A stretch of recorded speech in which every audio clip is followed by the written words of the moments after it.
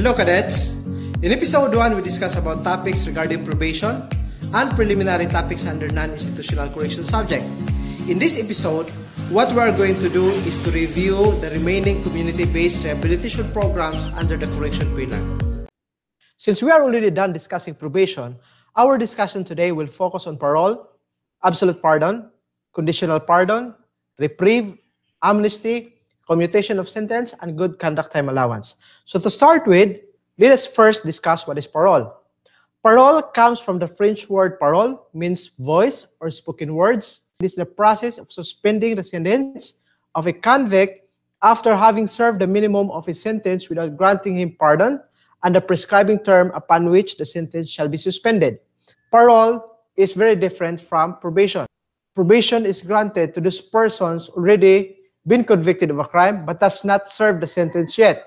But in parole, what is needed is that for a person or for a convict to be uh, qualified uh, to apply for parole is that, that the convict should already serve the minimum of his sentence. It's one of the one of the uh, most important requirements that must be met.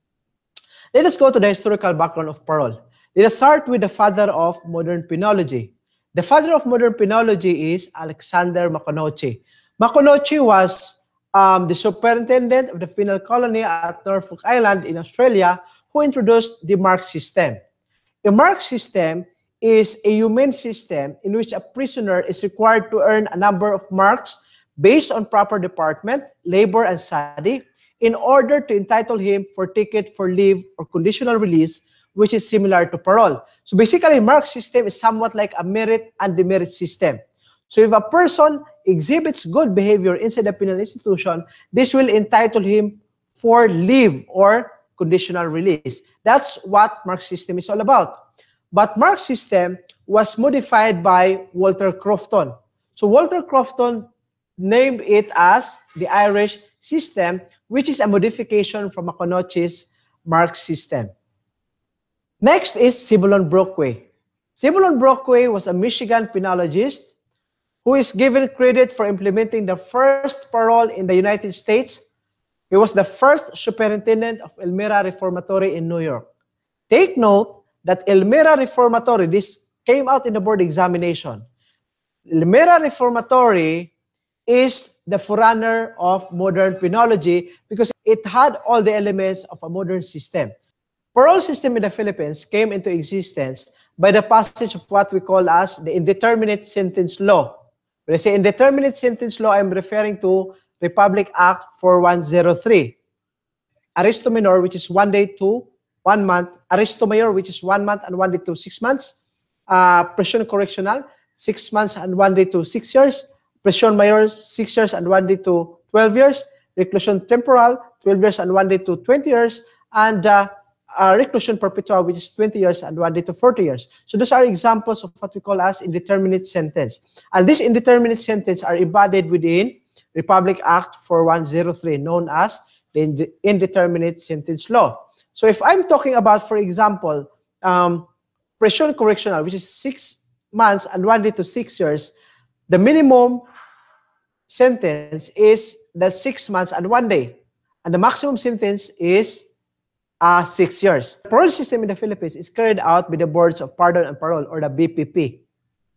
On your screen, you can find the difference between parole and probation. In terms of the granting authority, probation is granted by the court, while parole is exercised by the executive branch, specifically the Boards of Pardon and Parole. Probation, on the other hand, is granted to an offender immediately after conviction. Take note, based on the discussion that we had in, eh, in episode 1, probation shall be granted before the person is brought to jail or prison, meaning before the person serves his sentence, that's the time that probation shall be granted. Once the person already served his sentence, the serving of the sentence will disqualify him from availing the probation. Person who is on probation is known as probationer, while the person under parole is known as a parolee. Take note also that probation shall only be enjoyed once. Once he committed another offense, he will no longer be qualified to, to apply for probation simply because probation shall only be applied once. Parole, on the other hand, can be granted more than once, depending on good behavior during imprisonment. Now, let's go to qualifications for parole. One of the qualifications is that the convict is confined in jail or prison to serve an indeterminate prison sentence, the maximum period of which exceeds one year. Those persons whose punishment is arresto menor up to arresto mayor because arresto menor is one day to 30 days, while um, arresto mayor is one month and one day to six months. So basically, if a person is punished with prison sentence within arresto menor or arresto mayor, these convicts are not qualified for parole because what is required in parole again is that the prison sentence of the convict should exceed at least one year. Other qualification is that the convict should serve the minimum period of the said sentence less than the good conduct time allowances. So if a person has good behavior, just like the mark system, if a person has good behavior inside the penal institution or inside the jail, there's a corresponding deduction of days per month which will be granted to the convict, depending again on the good behavior. Next qualification is that there is a reasonable probability that if released, he will become law-abiding and his release will not be incompatible with the interest and welfare of society. These qualifications those whose maximum term of imprisonment does not exceed one year or are with a definite sentence. So basically, as I have said a while ago, is that parole shall only be given to those persons serving indeterminate sentence. When I say definite sentence, these are types of sentences that does not have minimum and maximum sentences. So what is given by the court is that a number of year only. Like say, for example, a person is required to stay inside the prison for 10 years. That's a definite sentence. But when I say indeterminate sentence, like say, for example, a person will be serving a minimum of five years and one day with to the maximum of 10 years. That's an example of indeterminate sentence. Next, disqualification. Those suffering from any mental disorder, which will be attested by a psychologist or a psychiatrist. Next is those whose conviction is on appeal, okay? So if a person will exercise his right to appeal or will appeal his case to a higher court, that will disqualify him to apply for parole. Next, those who have pending criminal case for an offense committed while serving sentence. Those persons convicted of offenses punished with reclusion perpetua. Take note, cadets, you have to memorize the number of days and years of imprisonment starting from arresto menor after reclusion perpetua. Also, these persons who have been convicted of treason, piracy, rebellion, sedition, espionage, terrorism, plunder, and transnational crimes are, do, are disqualified to avail for parole. Also, these persons who are habitual delinquents, those who escaped from confinement or those who evaded sentence, those who were granted conditional pardon and violated any of the terms thereof shall be disqualified from parole. The Board of Pardons and Parole is created by virtue of Act number 4103 or known as the Indeterminate Sentence Law. And this agency is under the Department of Justice tasked to uplift and redeem valuable human resources to economic usefulness and to prevent unnecessary and excessive deprivation of personal liberty by way of parole through executive clemency. The reason why I include the address in the filing of petition simply because in the previous criminology licensure examination, this type of question came up. Formal petition for executive clemency should be addressed as follows. The President of the Philippines, through the Chairman, Board of Pardons and Parole, DOJ Agencies Building, NIA, NIA Road, Corner East Avenue, Diliman, Quezon City. Note, however, that in Section 39, any violation of the terms and conditions appearing in parole supervision program shall be immediately reported by the probation and parole officer to the board. And upon receipt of an infraction report, the board may order the arrest or recommitment of the client. So just like probation, parole also is attached with various conditions. And these conditions must be followed by a parolee.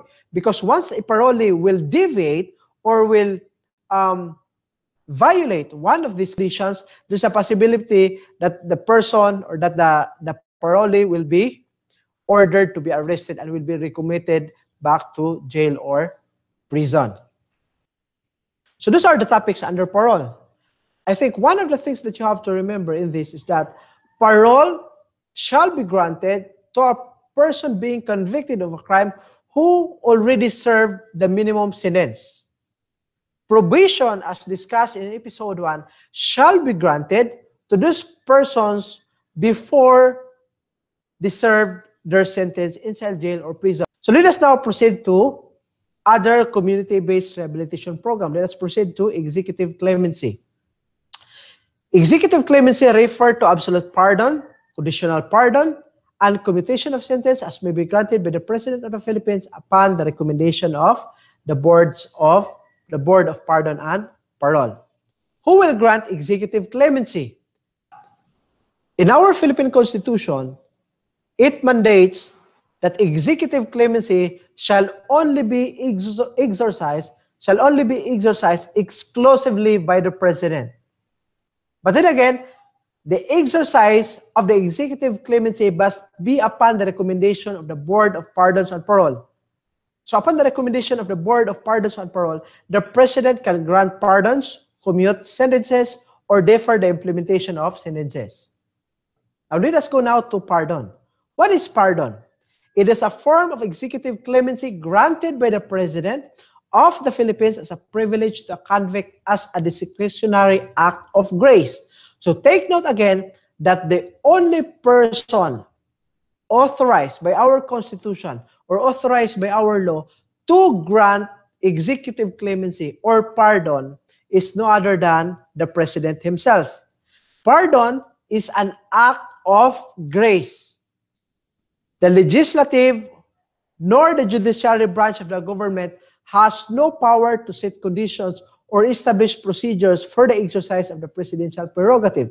So once the president will exercise his pardoning power, such will be unquestionable either to the legislative or to the judiciary branch of the government. There are only two types of pardon. One is absolute pardon, the other is conditional pardon. The only difference between the two is that in absolute pardon, there is total extinction of criminal liability. While in the conditional pardon, there is only partial extinction of criminal liability. In absolute pardon, there is no conditions. Conditional pardon, on the other hand, is somewhat like the same with parole and probation because it is entwined with conditions or it involves conditions. So once a person is granted with conditional pardon, there are conditions that are set to be followed by the person who has been granted with with such executive clemency. But take note, even if the pardoning power of the president cannot be disputed by the judiciary and the legislative branches of the government, there are limitations as set by the 1987 Constitution. These are, there are limitations of the pardoning power of the executive branch. These are the limitations.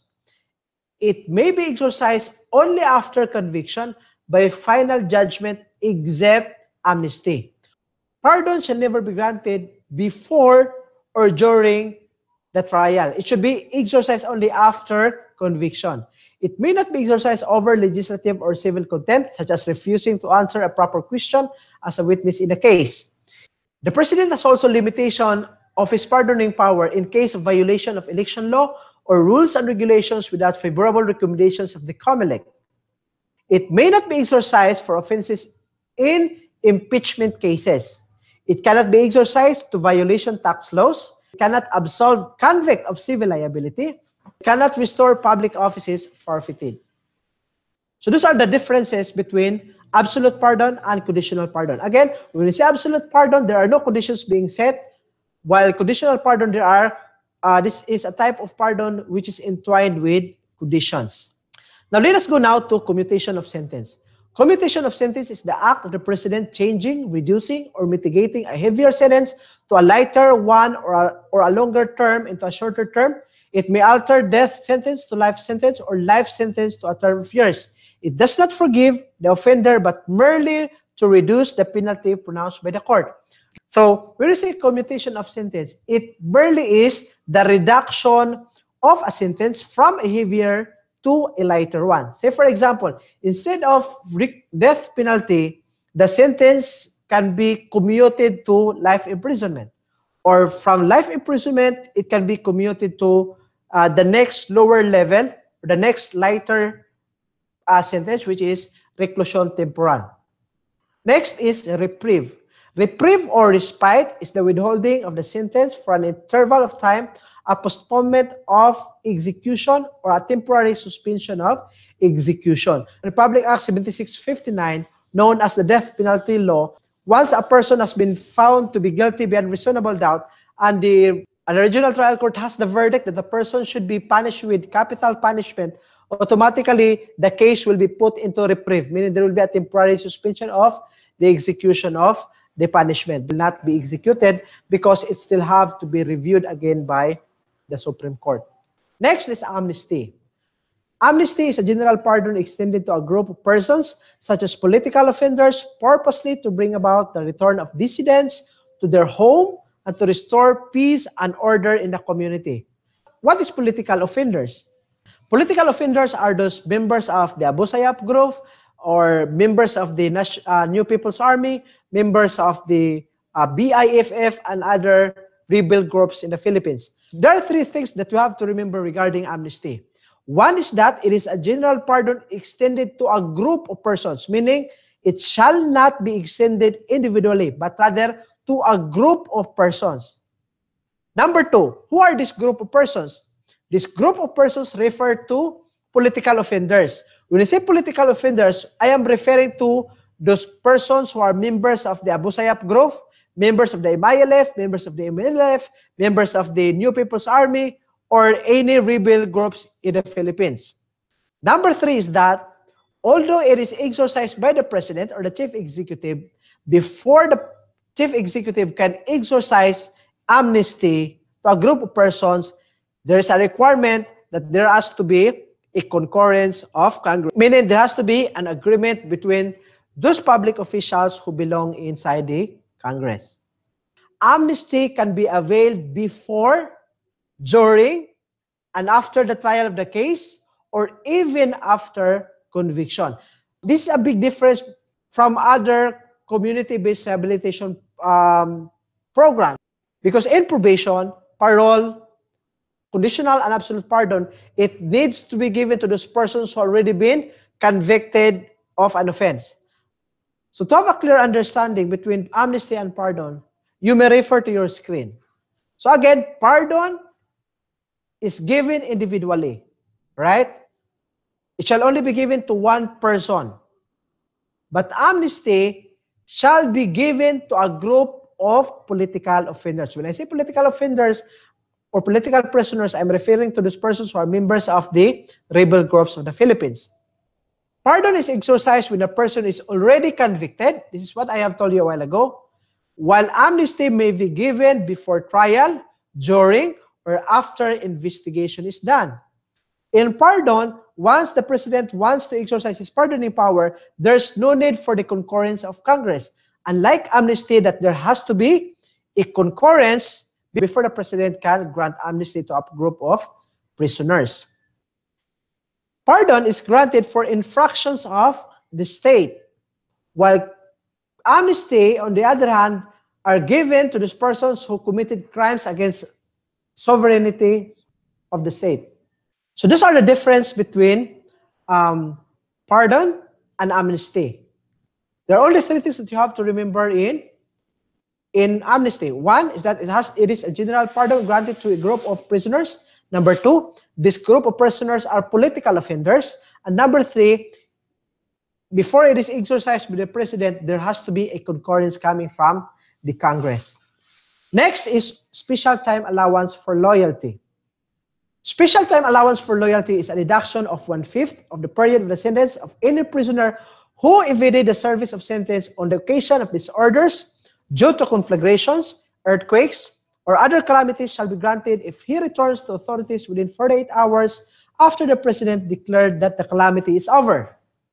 Take note that what is required here is that even if the person was able to escape from the catastrophe, he has to return or he has to surrender again to authorities within a maximum of 48 hours. Because if he will surrender beyond 48 hours, he will no longer be allowed to avail on the special time allowance for loyalty. And if the person will surrender to authorities within 48 hours after the president declared that the calamity is over, automatically there will be a deduction of one-fifth of the period of the sentence of that prisoner. Last is good conduct time allowance. Good conduct time allowance is mandated under Republic Act 10592. We have the oldest law on good conduct time allowance, but right now, our new law is Republic Act 10592. In the previous law, there is a lesser deduction from the years of sentence. In the new law, which is Republic Act 10592, there is a higher deduction of days from years of sentence to a person who exhibit good behavior inside prison. So in Republic Act 10592, if the person will exhibit good behavior within two years, there will be a deduction which is 20 days per month. If a person will exhibit good behavior from three to five years, the person will enjoy 23, 23 days per month deduction from his years of sentence. If the person will behave 6 to 10 years, he will enjoy 25 days deduction per month. And if he will exhibit good behaviors from 11 years and onwards, he will enjoy 30 days deduction per month. Also, in Republic Act 10592, a convict shall be allowed another deduction of 15 days for each month of study, teaching, or mentoring service time rendered. So cadets, those are the remaining topics under non-institutional correction subject. And I hope by prayer and by God's grace, you can hurdle the board examination.